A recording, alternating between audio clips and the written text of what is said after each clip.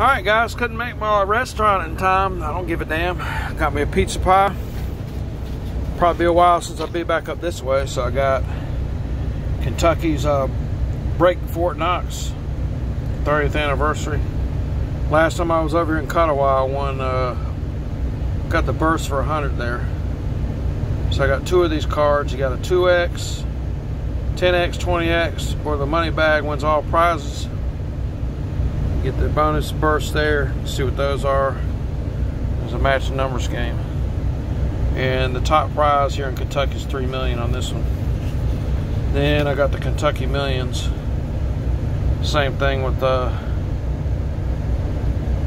those are just uh, 25, 50, 100, 200. 2x, 5x, and then the floating bill wins all 20 prizes.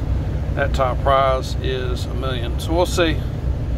I'm not expecting anything. Last time I did pretty good here, so we'll see. And I got me a Guy Fowler's pizza for dinner, a little uh, personal cheese pizza. See what these do. I'll be back. I'll reveal if any. Well, triple zero saved today, guys. But uh, Kentucky's known for fake multipliers. So that could be just two dollars or two times, uh, two times fifteen dollars for a break-even ticket. The other two lost. Eighty dollar session. So getting more multipliers, it might be something. But I'm thinking it's only 30 bucks. We'll see. Back in a second. Well, guys, I guess half back is better than nothing. So, triple zero come through with a two times 20. Unless I'm missing. Got half back. Jack out.